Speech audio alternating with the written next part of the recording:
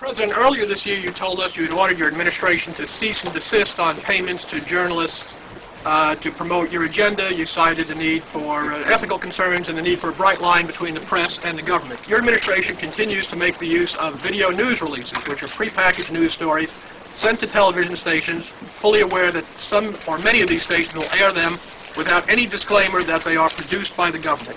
Comptroller General of the United States this week said that raises ethical questions. Does it raise ethical questions about the use of government money to produce stories about the government that wind up being aired with no disclosure that they were produced by the government? Uh, there, there is a Justice Department opinion that says these um,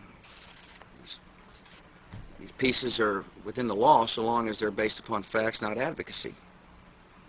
And I expect our agencies to adhere to that ruling, to that Justice Department opinion. This has been a long-standing practice of the federal government to use uh, these uh, types of videos. Agricultural Department, as I understand, has been using these videos for a long period of time. The Defense Department, other departments have been doing so. It's important that, the, that they be based upon the guidelines set out by uh, the Justice Department. Now, I also I think it'd be helpful if local stations then disclose to their viewers if that's you know that this was based upon a factual report and they chose to use it.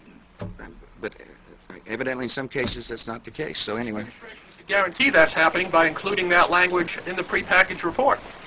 Yeah, I don't, you know, look, I mean, oh, you mean a disclosure on George W. Bush and I? Well, some way to make sure it couldn't air without the disclosure that you believe is so vital. Uh, you know, Ken, I mean, there's a, there's a there's a procedure that we're going to follow, and the local stations ought to, if there's a deep concern about that, ought to